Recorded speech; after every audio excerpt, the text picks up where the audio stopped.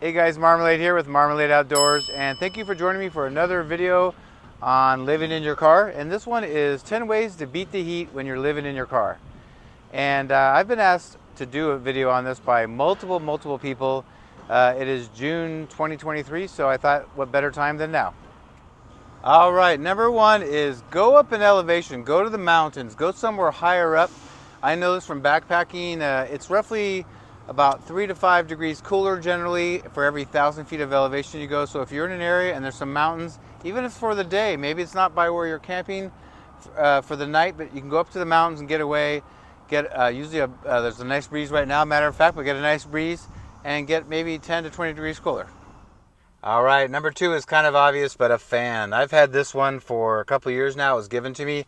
Uh, it's got three speeds. And what I like about it, it's got a small battery built into it, so it's rechargeable. So you can plug it in, and it just works on live power if you have a battery uh, source somewhere, or um, if you want to charge it up and get it ready for the evening. And and for me, a lot of times when you have your Reflectix up in your car, let's say, and you have your windows blocked out, and it's warm outside, especially at night, you might have your windows cracked, but there's not much airflow. It's really really important to have one of these. So um, I really really have enjoyed this, and I enjoyed it so much I just bought a second one a couple days ago. I don't know if you can see that or not. This was about 12 bucks at Walmart. It's also the exact same. It has three speeds. It's rechargeable, or it works when it's just plugged in directly. And uh, so now I have a, a couple different directions to get the breeze going. But even a small breeze is better than nothing at night, as you probably know. But yeah, that's number two. Okay, number three is mesh window screens, which go on the two side doors. You can get some from the front, I guess, but I have the two side doors. Uh, I'm gonna put one on there and show you what it looks like. But uh, let's do that first and then I'll explain how they work.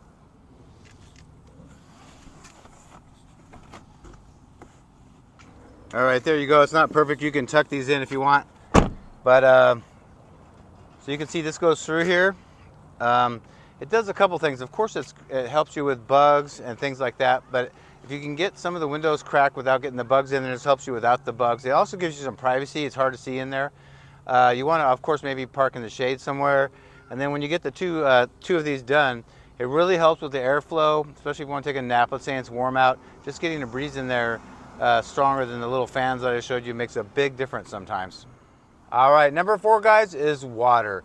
And we all know it's common sense to drink a lot of water, but especially in the summertime when it's very hot and we're, uh, it's evaporating off our bodies and we're sweating it out. Uh, it's important to try to drink at least one gallon a day, if not closer to two gallons. And guys, I know it's hard. I'm always trying to do this. It's very difficult, but when it's hot, really, really try to do it if you can. Um, and especially try to drink very cold water. That'll bring some of your body temperature down. Uh, it's obviously refreshing too, but um, I'll show you kind of uh, my everyday basis what I carry amount of waters. It doesn't mean it's all cold. I'll put some in the uh, and bottle at a time in, the, in my ice cooler. But I carry from Amazon, and by the way, at the end, if you go down to my description box, I have a lot of the stuff I'm showing you, like the uh, mesh window coverings, things like that, are in my Amazon uh, influencer store that I have now. There's a link to it, so check it out if there's anything in, you're interested in. But I always carry this 4.9 gallon, so just under five gallon water jug I got on Amazon. It's really great, and it's really cheap to fill up. It's 50 cents a gallon at the grocery store. You just put it under there, and $2.50, you got five gallons. Um, I always carry the single water. This is what I'll put in my cooler.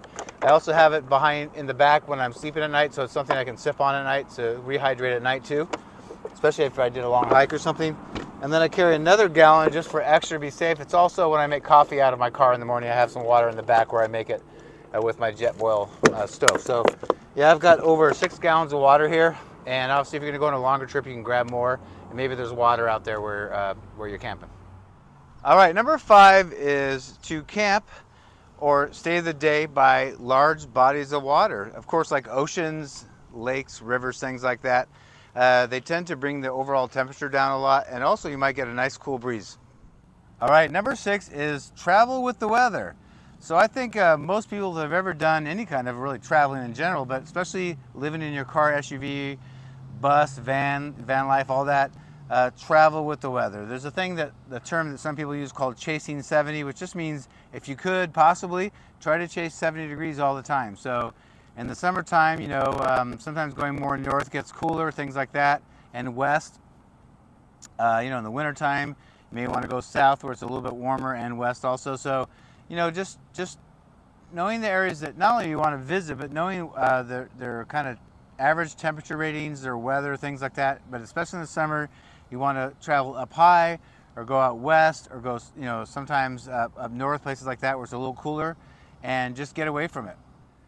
All right, number seven is get yourself four to eight uh, washcloths, just cheap ones, or bandanas. And what you do is you can get them wet. I happen to have this uh, cloth that I have in the car that I use for cleaning things.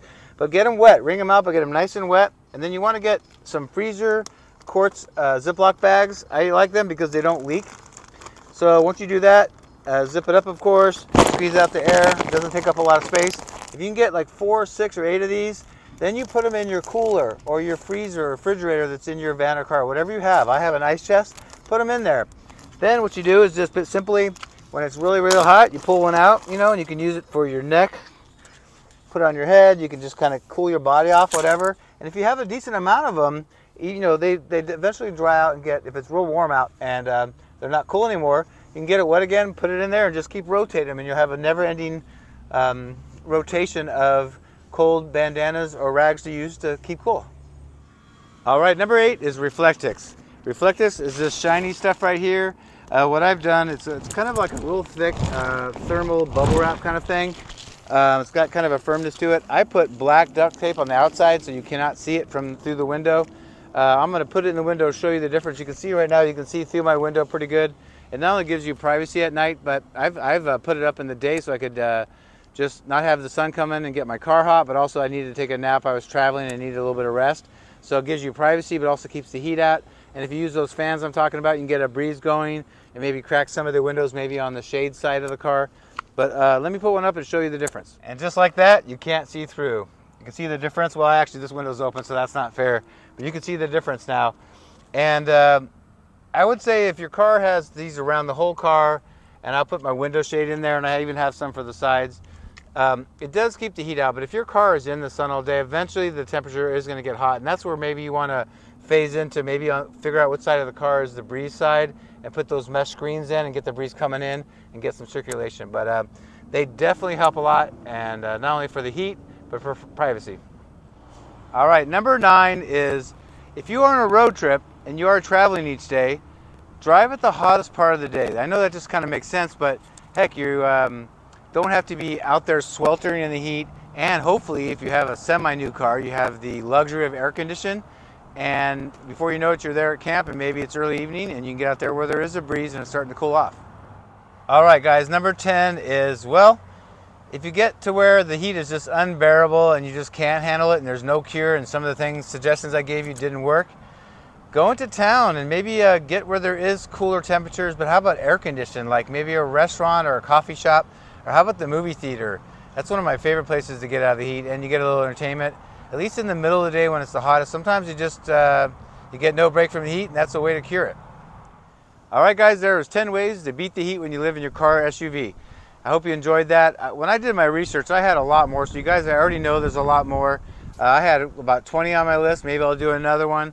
But those are 10 that I think are what I would do, what I have done, and what I am doing. So I hope those help. If you want to share the ways you do it down below, uh, I already know a lot more, but it might help the other people viewing this in case they happen to be in this situation. And like I said at the beginning, it's June 2023, and I'm in Southern California where it's actually still kind of overcast. We have a marine layer, but it's going to get hot everywhere pretty soon. So I thought this would be helpful. Uh, let me know if there's any other uh, things you want to know about or videos I can make for you when it comes to living in your car and SUV. And thanks so much. And if possible, if you did enjoy this uh, content, please consider subscribing and especially liking the video. It's free, you guys, and it really helps the growth of my channel. And um, if you want to uh, be notified every time uh, I have a new video, hit the notification bell in the upper right on my uh, channel. And I think that's it, guys. Thank you for listening, and I hope that helps you and we'll see you next time down the road.